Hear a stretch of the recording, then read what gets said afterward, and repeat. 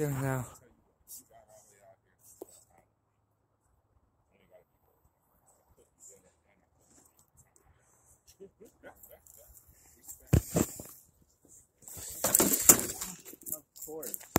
You had it.